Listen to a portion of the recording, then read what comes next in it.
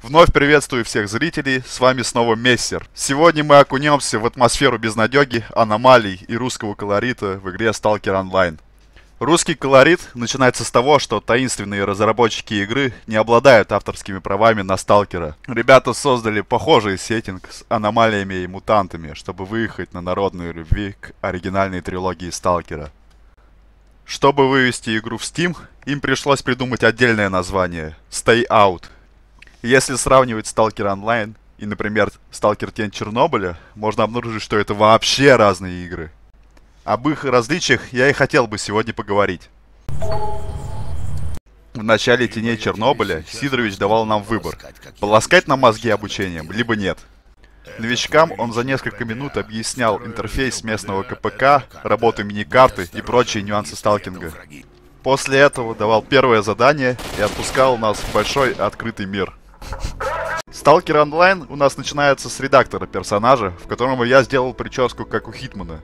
Иначе его череп будет просвечивать сквозь редкие волосы. Говорят, что в стимовской версии игры, в Stay обучение можно пропустить. Но если вы пришли в игру из-за названия Stalker Online, обучение неизбежно придется проходить. Вас научат бегать, ползать на карачках и делать грозное лицо, когда нет патронов. После чего выпустят в нубятник, в котором запрещены ПВП. На станции Лесная все еще будут появляться элементы обучения. Похожая тема была и в Тенях Чернобыля. К примеру, покажут местную систему добычи артефактов, которая сделана по-своему интересно. Чтобы разжиться патронами, либо данными по дополнительному квесту, нам придется собирать цветы. Ведь собирать цветочки это так по-сталкерски. Ёп, стыд.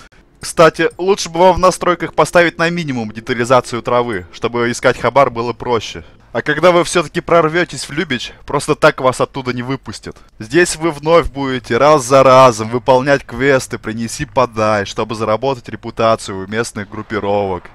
Или нет. Просто подойдите в упор к охраняемому туннелю рядом с ДК и выйдите в главное меню.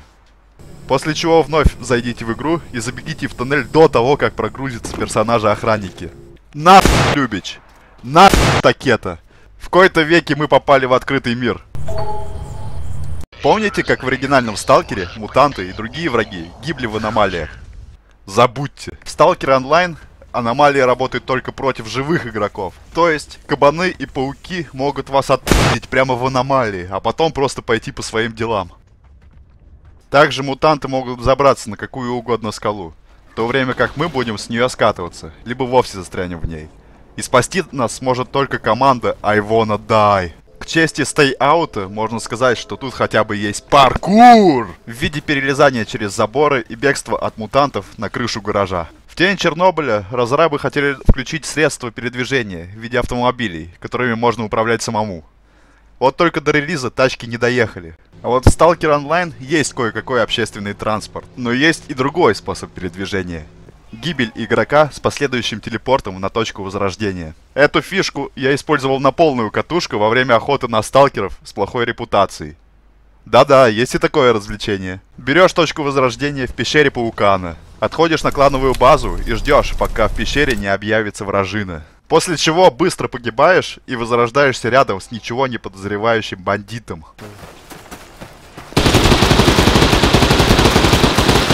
На-на. Цены в Stalker Online вас неприятно удивят. На серверах Stayouta до сих пор гуляют 90-е с гиперинфляцией. Как вам штурмовая винтовка за 54 миллиона? Обоймы для оружия стоят десятки и сотни тысяч рублей. А то и больше. Есть рюкзаки по несколько лямов за штуку. Или свитер за 118 тысяч. В общем, жопа. Что интересно, в Stalker Online можно торговать как с живыми игроками, так и с компьютерными персонажами. При этом цены могут значительно отличаться, что дает нам возможность заниматься барыжничеством. Можно продавать лоскуты ткани в 10 раз дороже закупочной цены. Впрочем, можно покупать прямо с доски декоративные фляги, из которых нельзя пить, и продавать их по цене нормальной фляги за десятки тысяч рублей. Обладая стартовым капиталом, можно даже держать какую-либо товарную нишу, искусственно задрав цену и скупая всех конкурентов.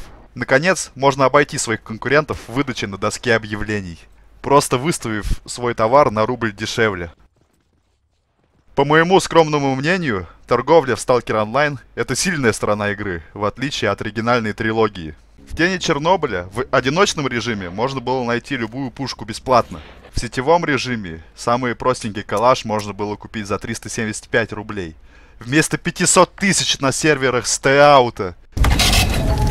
Я знаю, что раскрыт далеко не все аспекты игры Stalker Online. Если публика хорошо воспримет видео, я могу еще наснимать. Как ни странно, игра мне в целом нравится.